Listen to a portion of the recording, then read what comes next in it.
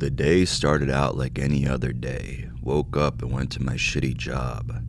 I finally made it far enough through the day to go on break and decided to walk over to the gas station next door. I plan on just grabbing a soda, a snack, and a new vape as my current vape was starting to die. I was looking at the case the vapes were kept in and noticed a new product, Amanita muscaria gummies. It said boldly on the package, legal psychedelic. This intrigued me because it said on the package that they were legal shrooms. I've taken psilocybin mushrooms before and had several enjoyable experiences with them, so I said to myself, why not? They're right here and apparently legal. I live in a state that has some of the most strict laws for drugs in America, so I was somewhat skeptical to if they would live up to what the package said they were. But I wanted to give them a shot anyways, because if they did work, this would be a much easier method to trip, as mushrooms and other psychedelics were a rarity where I live, with it being a strict state and all.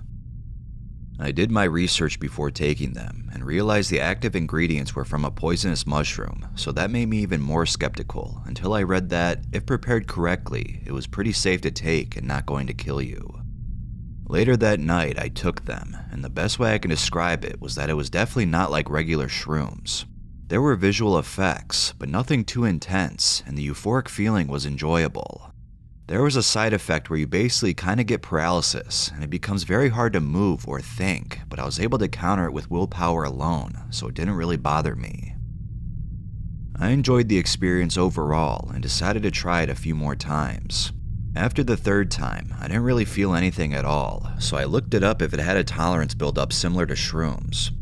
I got mixed answers where some people said it had a reverse tolerance, where you still got a high, but with less, and the others said it had a regular tolerance to that of psilocybin. The latter was true in my case. This was disappointing, but I decided to simply just wait a week and give it another shot. After a week had passed, I thought it was long enough of a wait and I was good to go to have another dose. Went to the same gas station and got another pack. The gummies had 500 milligrams per gummy of the active ingredients of the mushroom. Five gummies equal 2500 milligrams in all, and that was what I usually took, which was a considerably high dose, but it was never overwhelming for me. So later that night, I popped all five and waited. Usually, when my tolerance wasn't built up, the effects took only 30 minutes to kick in, and it was very obvious. After the 30 minutes passed and I didn't feel anything, I decided that I still had a tolerance and went to bed disappointed. Little did I know what I was in for a ride, to say the least. I am a very lucid dreamer to begin with. Almost every dream I have, I am at least in control of myself, but not always in control of my surroundings and the people or creatures around me.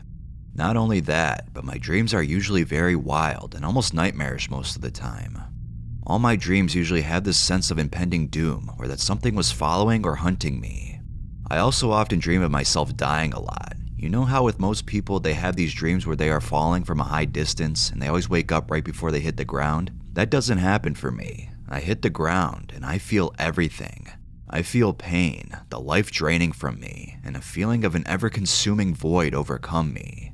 Then, after I die in my dream, I simply respawn like I am in a video game and continue dreaming. When I die in my dreams, it feels realistic. I remember one time where I was in a gunfight for whatever reason, and I was shot in my chest. The pain felt so real that I woke up screaming like I was in agony. That one really spooked me. But enough about my lucid dreaming. That was just to set up what I went through when I went to sleep while on Amanita. Like I said, after assuming that I wasn't going to trip, I said fuck it and went to bed as I was already sleep deprived. I then had an astral projection for several hours that became the most intense experience I have ever had in my life.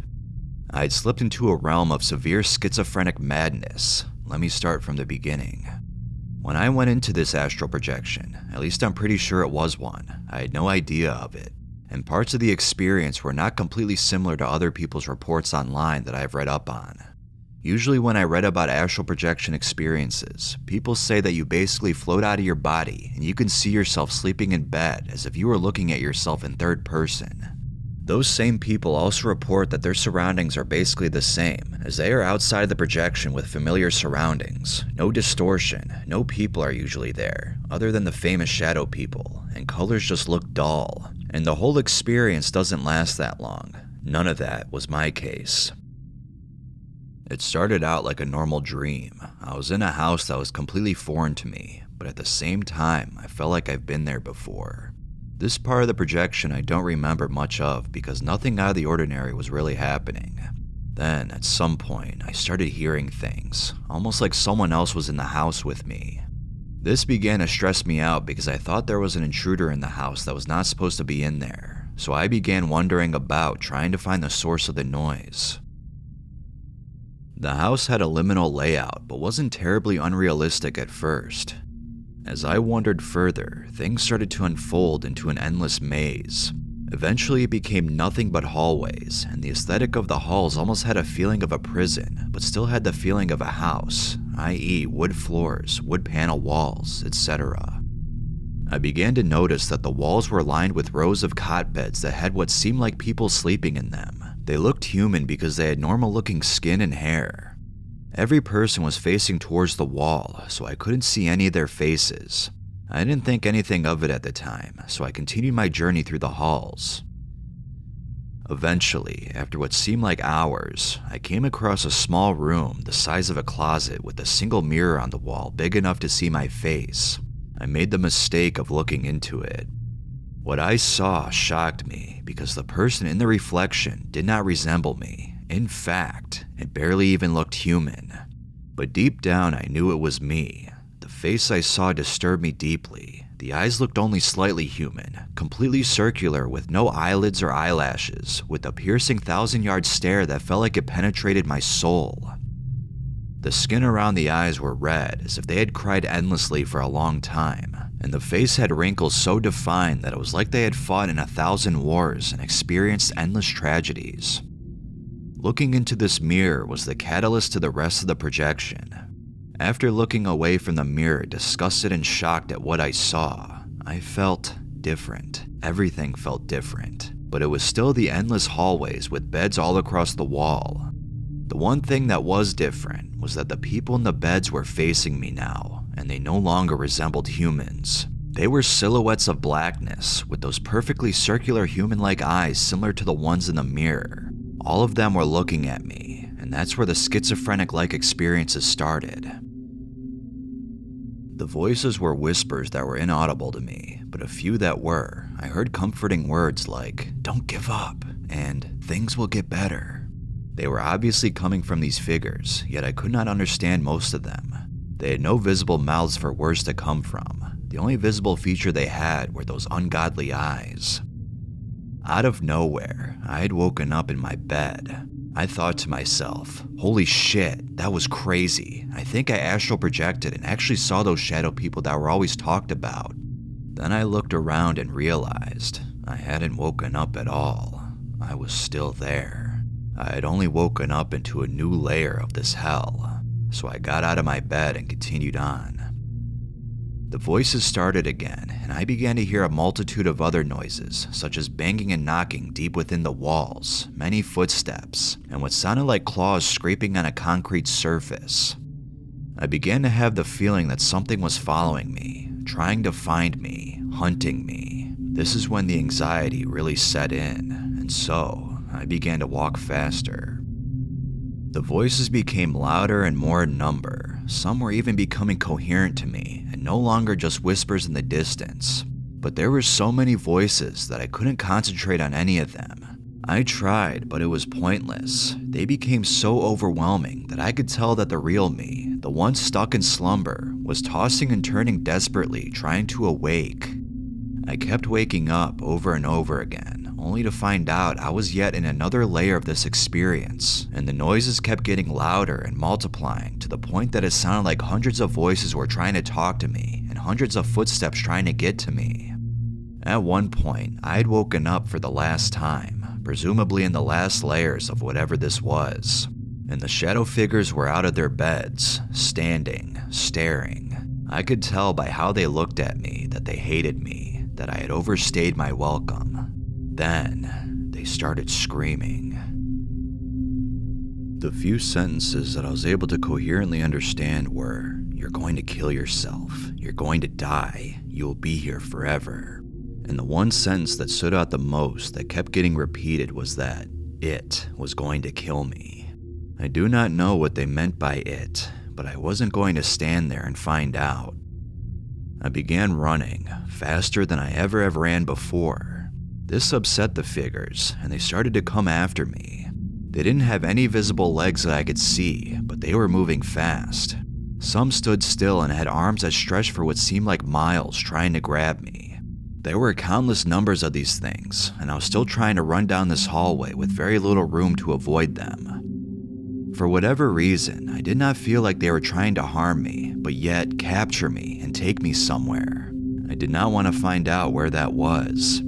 This continued on for what seemed like a lifetime, and the sounds became so overwhelming that I couldn't even have a single thought. Then I woke up. I woke up and I was in my room. I had my computer on the desk next to me, my nightstand with a clock that read 4:42 a.m., and my air conditioner was on but I still wasn't sure I was back in reality. I was still suspicious that I would just woken up into yet another layer of that ungodly plane of existence. I stayed in bed for what felt like hours, unsure if I was back in the land of the living and real, mentally exhausted. Eventually, I got the energy to hop out of bed, still disoriented and dizzy, and went to the bathroom. I turned the lights on and looked into the mirror with blurred vision. It was me, the face that I always see in the mirror. That was when I truly knew I was awake. I have never felt such relief in my life.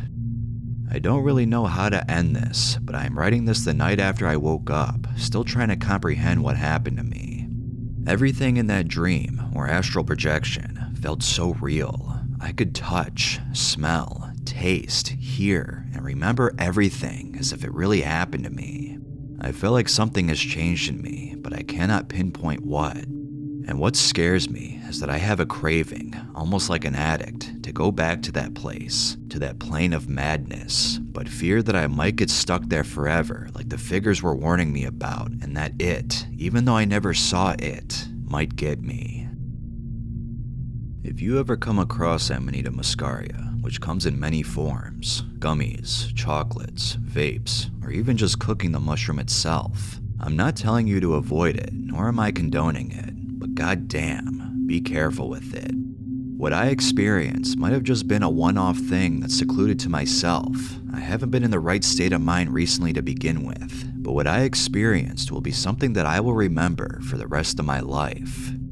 I want to write more and in better detail, but I still don't have my full mental capacity back, and writing this is actually kind of hard at the moment. Please be careful with psychedelics in general, and be sure you're in a safe and stable state of mind to begin with before taking them.